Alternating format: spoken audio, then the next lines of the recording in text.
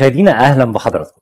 يقال إن فترة الأربعينيات هي مرحلة النضج والتحرر المادي اجمالا، كما إنها قد تكون فترة مثيرة مليئة بالأحداث الحياتية. لكن هناك أشياء معينة حذر العلماء من فعلها في هذه الفترة، ودخولك سن الأربعين تشعر أنك تغادر شبابك، تبدأ مرحلة أخرى في حياتك، لذلك هناك مجموعة من العادات الخاطئة يجب عليك أن تتجنبها بشكل واضح في فترة الأربعينيات من عمرك. أول هذه العادات الخاطئة هي وضعية الجلوس. عليك أن تتوقف عن الجلوس السيء حتى لا تصاب بآلام الظهر خاصة آلام أسفل الظهر والتي يمكن أن تكون ناجمة عن الجلسة السيئة في العمل وعضلات البطن الضعيفة.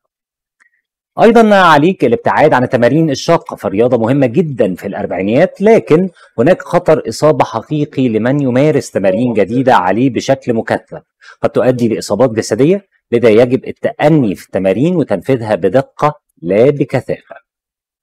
توقف فورا عن التدخين فبالرغم من المعلومات المنتشرة حول مخاطر التدخين لا يزال الملايين بيمارسوا هذه العادة السيئة. التدخين لا يضر فقط برئتين لأن سموم التدخين بتصل للكلى والمثانة ونظام الترشيح في الجسم مما قد يصيب الأعضاء الأخرى بالفشل على المدى البعيد. أيضا عليك أن تبدأ في متابعة ضغط الدم. ارتفاع ضغط الدم لا يضر القلب فقط بل ليه آثار خطيرة ودائمة على الكليتين أيضا ويعد ارتفاع ضغط الدم غير المنضبط من بين الأسباب الرئيسية للفشل الكلوي في الولايات المتحدة الأمريكية. أيضا عليك أن تواجه خطر السمنة فوفقا للخبراء السمنة هي من بين أكثر عوامل الخطر بالنسبة للمصابين بأنواع كثيرة بالسرطان لكن قد تتفاجأ عندما تعلم أن الدراسات أظهرت أن مجرد زيادة الوزن فقط وليس بالضرورة السمنة الهائلة تزيد من المخاطر أيضا لذا يجب مراقبة الوزن واتباع نظام صحي في الأربعينيات. أيضا عليك أن تنظم نومك بشكل جيد. قدرتك على السهر في العشرينيات لا تعني أنك يجب أنك تفعل ذلك في الأربعينيات. النوم أمر بالغ الأهمية مع التقدم في السن. أظهرت العديد من الدراسات المختلفة أن البالغين اللي بيناموا بانتظام أقل من سبع ساعات في الليلة هم الأكثر عرضة للإصابة بأمراض القلب والسمنة والسكر والاكتئاب.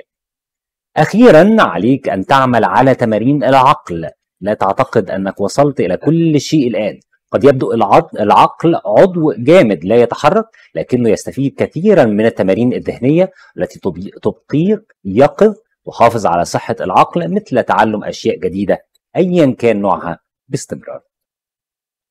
مرحلة جديدة مرحلة الأربعينيات أكيد محتاجة أسلوب جديد في التعامل وده أكيد. حاولنا بدورنا نقدم لحضراتكم مجموعة من أبرز العوامل اللي لازم أي شخص داخل على الأربعين يحاول إنه يحافظ عليها علشان صحته. أنا بشكركم شكرا جزيلا على المتابعة وانتظرونا دوما في المزيد وإلى اللقاء.